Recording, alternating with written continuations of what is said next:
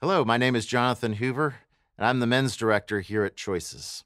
Are you surprised to hear that there are men's services at Choices? Well, God's design for the family is a man and woman united in marriage, raising up their children in the nurture and admonition of the Lord. So, Choices also wants to be an instrument in God's hands to help restore that design in a broken world and in broken relationships. So, if you think about it, as amazing as it is, and this is a, a huge goal of choices, and that is to save the physical life of the baby, we are also just as concerned about how that child is going to be raised. What is that life going to look like when they are born? We want it to be abundant. We want that baby to experience eternal life. So we want to reach the man and the woman to make sure that they have that same eternal life, abundant life, so that they can pass that along to the child. So, does a man really matter in a pregnancy decision, you might ask? Well, absolutely. Both on the pro choice side and on the pro life side, they have done research and found that the man, the father of the baby, is the most influential on her decision, even above a doctor or nurse or other medical professional, and even above her mama, which you might think would be the most, right? Well, we all heard her body, her choice. But every man has a voice, and God has given him that voice, just as research shows. And it can make a world of difference. If you don't mind, let me share a client's story. Very first month that I started at Choices almost three years ago, there was a young couple that came in. They had kind of hooked up two months before, and surprise, we have a pregnancy. Well, I invite him into my office and he explains to me that she wants an abortion. I said, Okay, well, how do you feel about it? And he said, Wow, I'm really excited that I could be a father. And I said, Oh, really? I said, Does she know that? He says, Oh, no, it's her body, her choice.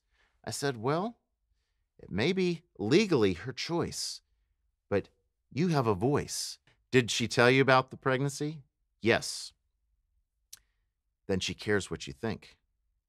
We are looking for volunteers now, male volunteers for me, but also female volunteers, um, because we don't want any man to be missed in our center.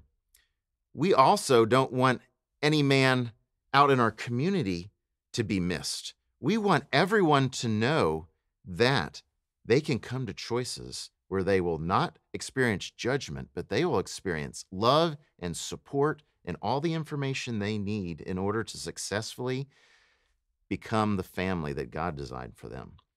So, I need a lot of men to handle the medical services side, which is talking to them at the pregnancy or the ultrasound. I also need a lot of men to parent, do parenting classes and raise these men up to be great fathers and to, to pursue marriage and to become great spiritual leaders. I also need men to get out in the community. Um, we are in Silverdale Detention Center. We are providing uh, parenting classes for men who are about to get out. My my goal and my vision is to get into all the community centers around town and do parenting classes there. And to spread the word as much as possible about that choices does have something for men and that it is not just a woman's place, um, but we welcome them as families. If I may, uh, talk about a sensitive subject. Sometimes our couples do choose to abort. And many of them, you might argue that most, they experience serious regret. They experience guilt and shame afterwards. And these lead into uh, depression and addictions and all kinds of things. And it's not just the women who experience these. You've heard from Kelly, most likely, about our women's after abortion support, but also men experience it. Now, we men, we're good at compartmentalizing. We put something in a box and we say, we'll deal with that later when we experience trauma. But more often than not, that trauma, that box leaks and starts poisoning the rest of our life. And we have to reopen it and we have to deal with it. And so I've had the privilege of walking some men through a, a process of healing from that. And then allowing them to tell their story to impact other people's decision. What a joy that is.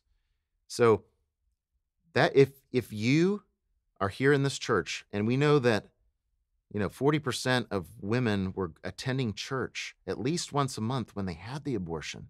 No statistics on men.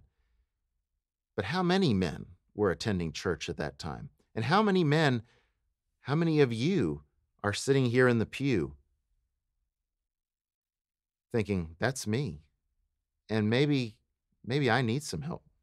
Well, you can reach out because we want to meet you where you are and we want to bring you hope and healing as well. Well, if I may, let me close with the um, men's ministry vision, and that is that we transform Chattanooga one family at a time by being an instrument of God to restore his design for the family. Thank you so much for your time.